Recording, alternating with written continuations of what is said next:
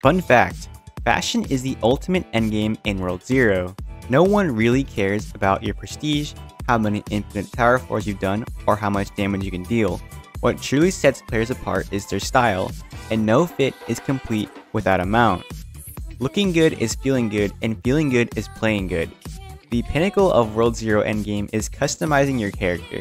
Sometimes it's completing the weekly quest to get that terrible hex on cosmetics, saving up coins to purchase the item you want, or new updates that bring exclusive cosmetics. Customization is king. The developers want you to customize your character. From the barbershop, the battle pass, cash shop, and even the guild seasons, everything screams expression. But cosmetics cost crystals, crystals cost money, and money from your pocket puts money into theirs. And what cosmetics do all players love? Mounts.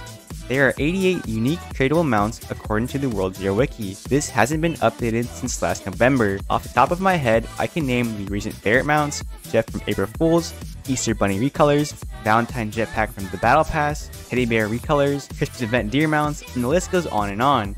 Despite all mounts traveling at the same speed, not all are the same price. All of these mounts have their own values. For instance, the Golden Unicorn, one of the cheapest mounts in the game, is listed as low as 5 million coins compared to the Arctic Fox, a mount with a similar acquisition sells upward of 4 times its price.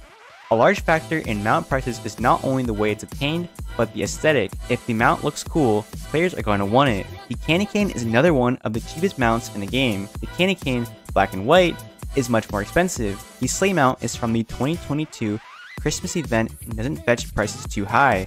The Sleigh mount, black and white, you can probably guess which is more expensive, but aesthetics alone don't determine value. The real game changer is the way these mounts are obtained. Enter Crystal Chests, the loot boxes of World Zero, and nestled in one of these chests lies the elusive Anti-Sleigh. Anti-Sleigh can fetch prices up to 50 million. The Anti-Sleigh comes at a generous 1.9% drop rate from the Anti-Chest. Each chest costs 1200 crystals per, on top of this, the mount was only available during the 2022 Christmas event. Players will need to open an average of 53 chests, which can be purchased for bundles of 3 for 3,000 crystals. Doing the math, it would require 53,000 crystals or 19,000 Robux, roughly $200. But hold your horses, the Anti-Sleigh is not the crown jewel of all mounts. It's not even one of the most expensive mounts currently on the market. The most expensive honor belongs to another loot box exclusive, the Anti-Deer. Released in December 2023, this is the most expensive mount in the game. Unlike the Anti-Sleigh at a 1.9% drop rate, this one has a 0.6% drop rate. That is 3 times rarer than the Anti-Sleigh. 159 anti-chests, 159,000 crystals, and 57,000 Robux, or your mom's credit card. So how do people get their hands on the deer? Personally, I'm broke and I did not spend $600 on World Zero. I did not get this mount from the anti-chest, but I did buy it for gold. I don't think all these other people that also own the deer spent 600 bucks on chests. Back in 2022, each item had a unique tag assigned to it. Items with duplicated tags were marked illegal items and untradeable. I stopped playing the game shortly after this, but when I returned, my illegal teddy bear mount was now tradable. I suspect the majority of the anti-deers in the economy are duped or exploited. I find it very hard to believe that everyone who owns this mount opened that many crystal chests and got it legitimately. If you think about it, why would anyone sell this item for gold?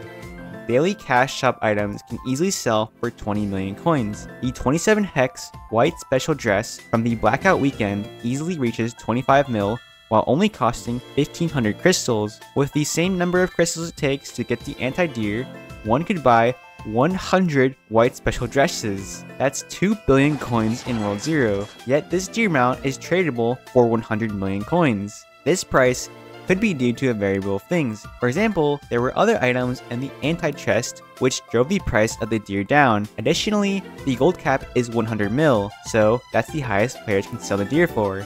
Despite this, the deer is actually valued at 100 million coins, and there are items in this game that are extremely rare and would never be traded for coins. So, why do players sell anti-deers?